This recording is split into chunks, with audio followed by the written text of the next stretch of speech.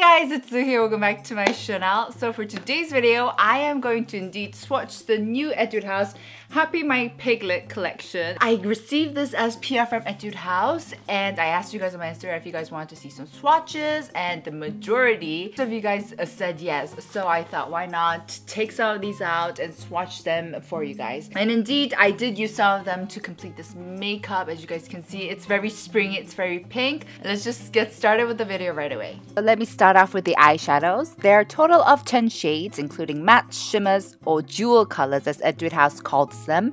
And the color theme is very bright, springy corals. Now, one thing that I did take note of was that even though the glitter or the jewel colors look like they were gonna give off this very sparkly, glittery payoff, they did work more of as a subtle shimmer shade. So the payoff wasn't as intense as it seemed like it would be.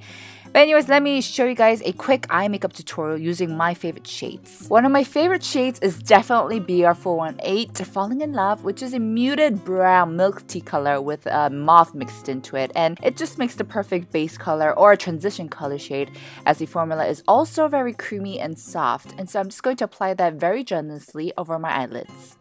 Another favorite color is this beautiful pink shade called RD306, Don't Be Sad, that has gold and pink glitters across. And like I said, even though these look like strong glitter shade, they go on more of a shimmer shade for me. And so they're great to work in every day for a daily subtle look.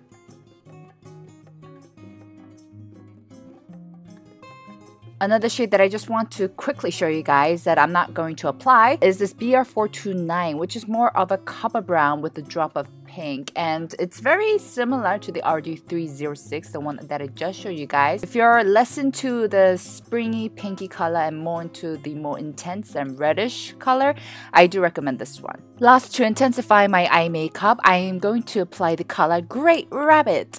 This color is a purple brown color filled with pink and gold glitter so it's not as intense as a brown matte color and it's really easy to work with. By the way these shades overall they work work great with either brushes or your fingers.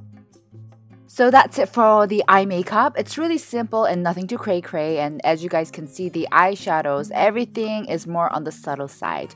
Now moving on to the blushers. There are five shades in total that all scream out spring, and these are actually called Jelly Mousse blushers. So they have a bouncy texture like jelly and they actually kind of go in, sink in, the formula sinks in if you push on them.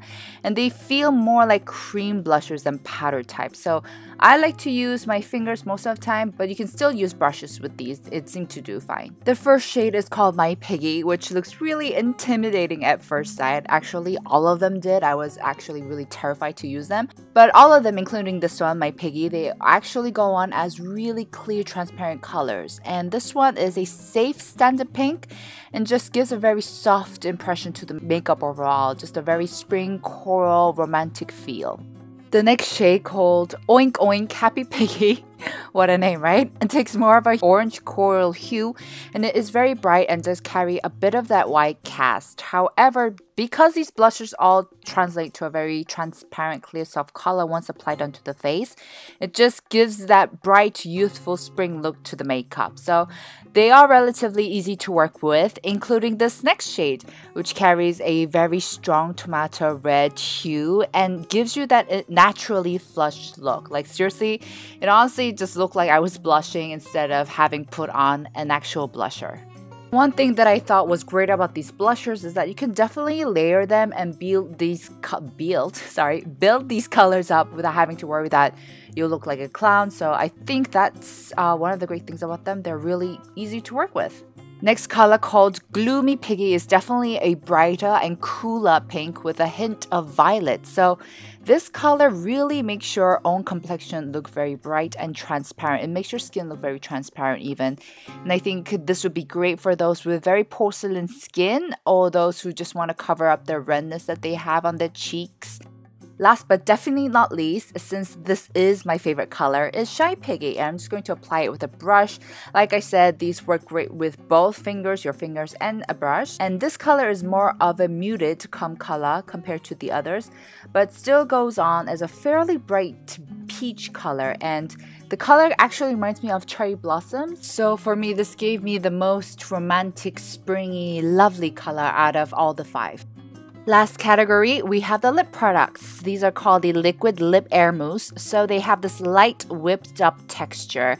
Now, to be honest, guys, I was a bit disappointed with these, uh, with the colors and the formula, especially since first the colors there, they seem very generic and most of them were too cool toned, too neon, and too bright for me. As for the formula, even though they go on as a, like a wet hydrating formula, they emphasize your dry patches so much, and over time they also dry out your lips, so they don't have the best longevity, and they do leave a stain, which for me is not a big problem. But anyways, uh, here we go with the swatches. First, we have the shade RD301, and I think this is the safest shade for everyone to use. It's basically a very vibrant tomato red color that pretty much will work on any skin tones. And out of the five colors, this has the strongest payoff, as you can see. This next color was honestly a frightening color, PK001, which is a very strong fuchsia pink color. This also has a very strong payoff, and this honestly clashed strongly with my own skin tone, so it personally wasn't my favorite, but I will say it's a very fierce and bold color, and I think this is one that will work great if you have very cool toned skin, very porcelain skin. Next up, we have the shade PK002, which is more on the subtle side compared to the first two colors that I showed you guys. But this one also still has a very prominent coral color payoff. And it is on the cooler side. This also clashed with my own skin tone again. Even though these formulas aren't the most difficult to work with, you definitely need to take the time to blend them in. OR201 is a very neon coral pink with a lot of white cast, so this was also another color that I didn't really vibe with. Like I said, I wish Etude House did come up with a more variety of colors, even though it's still spring. I think they could have come out with more shades and more ranges of colors.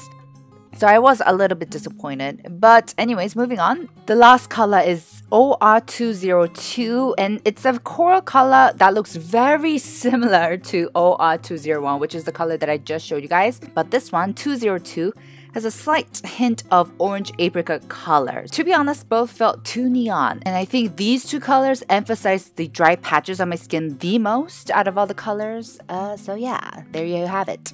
So that was it for the swatches. Like I said guys, um, even though I do think it's very cute and I was oh, generally impressed with the eyeshadows, I did think that maybe they could have released more diverse colors with the blushers and the lip. Don't forget to like, subscribe to my channel and follow me on Instagram at underscore Beauty and I'll see you guys in my next. Ciao!